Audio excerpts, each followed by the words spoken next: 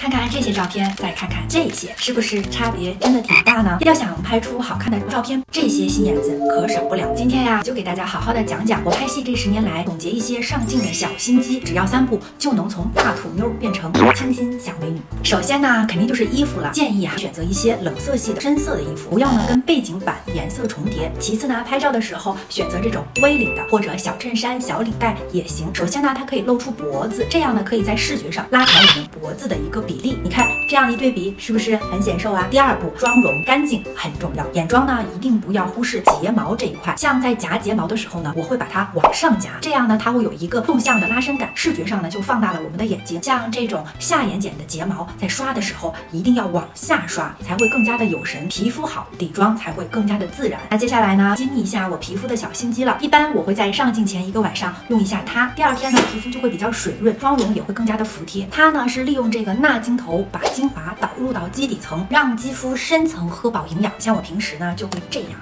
面中、下巴以及额头一点一提。盖上去，戳一戳脸，五分钟呢就做完了，是不是非常的简单？像法令纹可以重点要多按几次，脖子啊其实也是可以按的。做完之后呢，再来做一个按摩，可以吸收的更好。我用的是这个五号的胶原蛋，它是一个刺抛的设计，精华用量呢也是比较的扎实，功效也比较全，一次呢用一颗特别特别的方便。你看现在我的一个皮肤状态啊，是不是脸上都水嘟嘟，懂吧？女演员的水光肌可不单单只靠院线。第三，千万不要忘记整理我们的发型哦，不要软趴趴的。像我平时嘛，也经常是卷发。所以呢，要用一些卷发棒卷一下我们的发根，或者说卡一些假发片，让我们的颅顶哎蓬松起来，这样脸不就显小了吗？最后啊，就是不要驼背，要挺胸抬头。拍照片的时候呢，憋一口气，让摄影老师多抓拍几张，最后选一张咱们满意的照片。觉得自己的照片不好看的家人们，快快学起来哦！